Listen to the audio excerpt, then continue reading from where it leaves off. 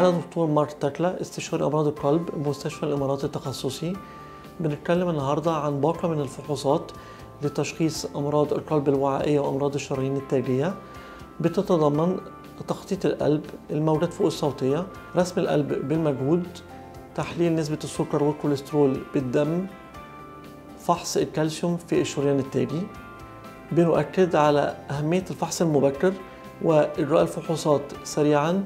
لزيادة نسبة شفائك بإذن الله.